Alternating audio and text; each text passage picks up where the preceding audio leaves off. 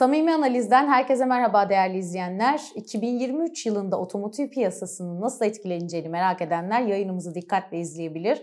Otomotiv yazarı Emre Özpeynirci konuğumuz. Merhaba Emre Bey, hoş geldiniz yayınımıza.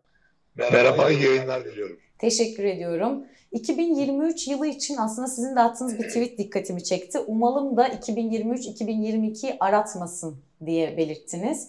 Biraz açabilir misiniz?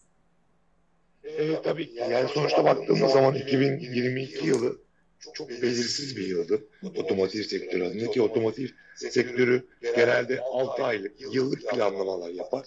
Ama 2002 yılında, 22 yılında e, bir hafta sonrasının ne olacağı, yani fabrikadan ne kadar araç alabileceği, fabrikaların ne kadar parça bulabileceği hiçbir şey belli değildi. Bu yüzden de 2022 yılında e, arz talebin çok altında kaldı. Bu da Türkiye'de e, fiyatların çok artmasına. Çünkü bir taraftan da biliyorsunuz e, araç, araç olmayınca, talep yüksek olunca ki Türkiye'de enflasyonist bir ülkedeyiz. E, araç, otomobiller birer yatırım aracı olarak görülmeye başlandı. İnsanlar da daha fazla zam görmemesi için bir an önce otomobil almak için e, mücadele ediyordu. Bu da e, tabii ki fiyatların artmasına sebep oldu. Arzın çok üstünde olunca kara borsa oluştu e, rakamlar, e, fiyatlar tarihi seviyelere geldi. Yeterli sayıda araç gelmedi. İkinci elde de aynı şekilde ciddi bir e, köpük oluştu fiyatlarda. Böyle e, enteresan, belirsiz bir yıl geçirdik. 2023 yılında yine aynı belirsizliklerin devam ettiği bir yıl olarak gözüküyor. E, baktığımız zaman tedarik problemleri devam ediyor. Fiyat artışları devam ediyor çünkü fiyat artışları Türkiye'deki sadece kur ve vergilerden değil, ayrıyetten üretim maliyetleri yurt dışında, e, ham madde fiyatlarının artışı, lojistik fiyatlarındaki artış, bunların hepsi enerji krizi, hepsi üretim maliyetlerine yansıyor. Dolayısıyla 2023 yılında zaten e, zamlı başladı. 1 Ocak'tan itibaren fiyatlarda güncellemeler yapılıyor peyderpey.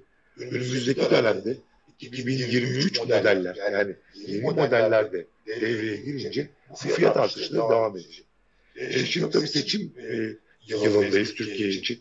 Dünyada bir belirsizlik devam ediyor. Bir taraftan savaş devam ediyor. Ama Türkiye'de bir de seçim var. Şimdi daha önceki seçim dönemlerinde hatırlarsınız seçim öncesinde bir hareketlilik olmuştur. Seçimden sonra ise pazar oldukça daralmıştır. Şimdi bu sene seçim öncesi bir hareketlilik olmayacak gibi gözüküyor. Çünkü ortada araç yok. Yani geçtiğimiz dönemlerde en azından araç bolluğu vardı ve araç geliyordu, satıyordu. Seçim öncesinde de tüketimi arttırmak için hükümet bir takım teşviklere devreye sokuyordu. Bu yıl teşvikler devreye girse daha iyi. Tedarik problemleri devam ettiği için ortada bir araç yok. Yani dolayısıyla zor bir süreç. Seçim sonrasındaki durum da gene e, karamsar tablolar ortada. Yani bu yüzden de 2022 yılını aratmaması için dua ediyor sektör. 2022 yılını hatırlatmak gerekirse geçtiğimiz yani 2021 yılında paralel bir yıl oldu. Birazcık %4-5 üzerinde bir iç, iç pazardan bahsediyoruz. Ama, ama 2021 yılında pandemi yılıydı. Pandemi yılındaki e, satışlar düş, düşmüştü. Buna rağmen ancak 2022 yılında %4-5'lik bir e, artış oldu. Bu da yıl sonunda 180 bin civarında bir pazardan bahsediyoruz. Fiyatların artışından bahsettiğiniz aslında daha da artacağını öngörüyorsunuz zaten. İkinci elde de ciddi anlamda köpük fiyat diye belirttiğiniz son derece büyük bir artış var. Bu piyasayı nasıl değerlendiriyorsunuz? Fiyatlarda hiç geri çekilme olmayacak mı ikinci elde de? Valla ikinci elde biliyorsunuz geçtiğimiz yıl Temmuz ayına kadar ciddi bir e, hem satışlarında artış vardı hem de fiyatlarda ciddi bir köpük vardı. Sebebi demin de bahsettiğim gibi arzın talebin çok altında olması nedeniyle e, araçlar kara borsaya e, girmişti. Bu yüzden de ikinci el fiyatlarında büyük bir alan oluşmuştu. Ama Temmuz ayından itibaren e, sıfır araç olduğu biraz artınca ikinci eldeki balon fiyatlar birazcık geriledi. Ama Aralık ayında artık ÖTV indirim beklentisi maslak güncelleme beklentisi ortadan kalkınca ikinci elde yine bir fiyatlarda hareket başladı.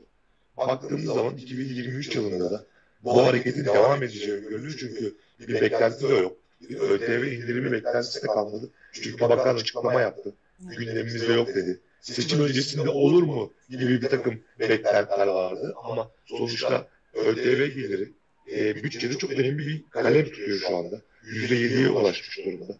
Bir de sonuçta EYT olsun, işte zamlar olsun, emekli ve memur zamları. Bunun için kaynak gerekiyor. Dolayısıyla bir ÖTV indiriminin çok da bu seçim dönemi öncesinde beklenmediğini söyleyebiliriz. Evet.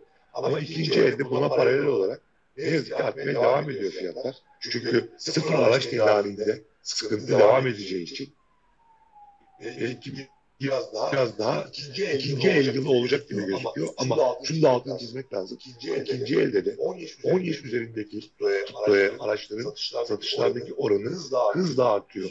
%60'a çıkmıştı. Bu yıl, bu, yıl bu seviyenin, seviyenin bile üzerine çıkması bekleniyor. Yani satın alma gücü, alım gücümüz biraz kendini ikinci eldeki yaş aralığında gösteriyor diyebiliriz. Diğer yandan da aslında gözler TOG'a çevrilmiş durumda. Önümüzdeki aylarda fiyatı açıklanacak ve arama motorlarında sıkça aratılıyor. Sizin tahmininiz nedir? Ve piyasa etkisi nasıl olacak?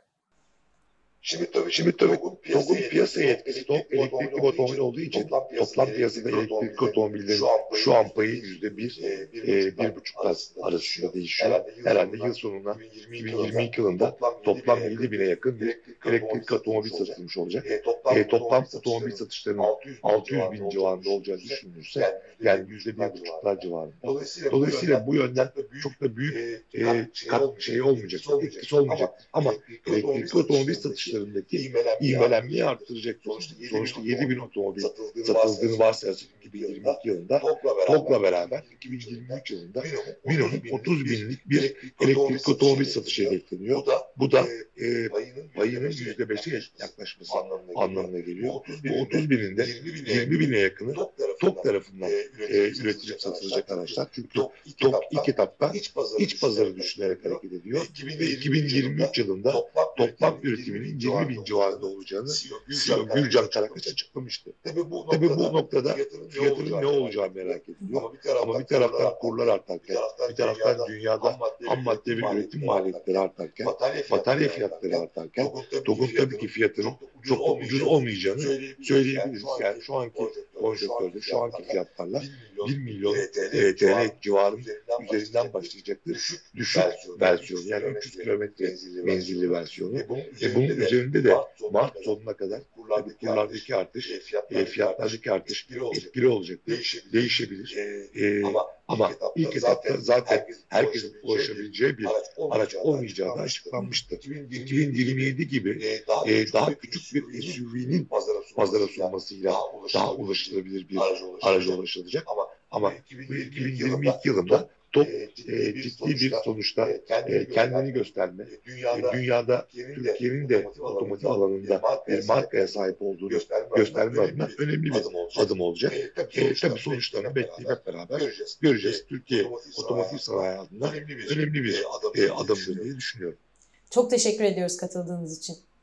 Ben teşekkür, ben teşekkür ediyorum. İyi yayınlar diliyorum. Emre Özpeynirci konuğumuzdu. Bugünlük programımızın sonuna geldik. Güncel yayınlarımızı ve değerli konuklarla sohbetlerimizi kaçırmamak için bizi takipte kalın. Şimdilik hoşça kalın.